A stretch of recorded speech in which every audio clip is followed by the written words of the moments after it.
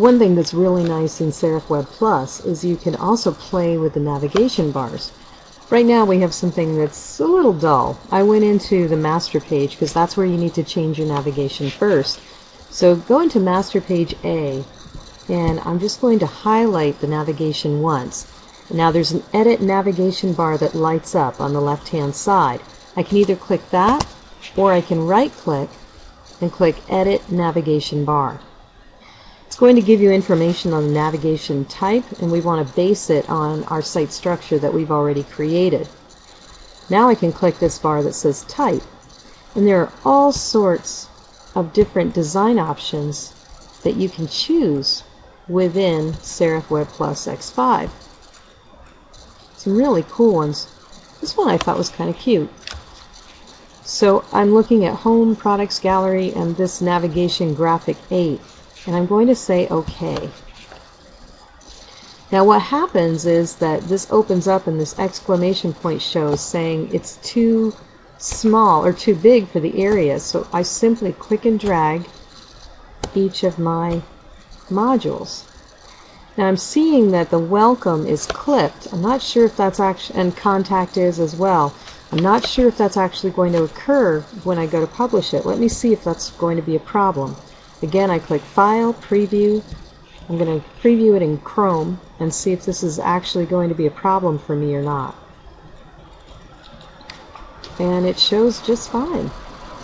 So when I lay my mouse across these, it shows the software page we just created as a child of products. So yeah, this works just fine. And what it's doing is it's grabbing the color off of my color scheme designer. Now I'm going to show you something else too that's important. When I've highlighted my navigation bar, you'll see that my other navigation bars change up here. When I click off of it, that's when I have my site structure, my site manager, my color scheme designer, and my layout guides all here. When I switch, switch and I go to my navigation, it changes. So I just want to make you aware of that. Now, where it's getting the color from I go into Edit Navigation Bar again and I click Appearance, it will tell me when I edit this where exactly the color is coming from. Now that blue isn't really exactly what I have in mind. I'm going to highlight the blue because remember when you're working in Serif WebPlus or in any graphic design program for that matter, it all appears in layers. And so I've highlighted this one. I'm going to click Format and Fill and I see that it's grabbing the color from 5, the number 5 on my color wheel. If I click edit, I see that it's 0E4861. I'm happy with that, so that's great. Maybe what I want to do is I want to make the highlight behind it a little darker. I can go into Format, Fill, and maybe what I want to do is choose 12 just to give it a little bit of depth. I like that. Then I click Commit Changes. I click OK. I'm going to take that out on the street and see how that looks.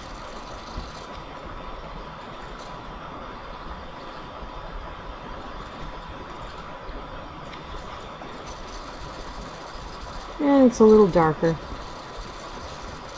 So that is, in a nutshell, how you can change your navigation bars around. I'm also going to need to do the same thing in my other in my other master page, yes?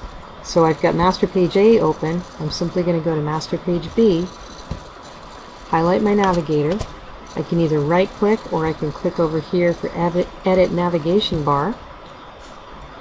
Go into type, graphic. I chose graphic 8 and hit OK. Then I just got to stretch it to adjust it. And remember, master page A is only tied to my my blog, right? So let me go test that blog page and see what that looks like. We put it in Article 1, our frame document. When we go to preview the site, it will show the navigation bars with master page B tied to the blog. So here are our pages. And there's the blog. So that's how you do new navigation bars inside Serif WebPlus.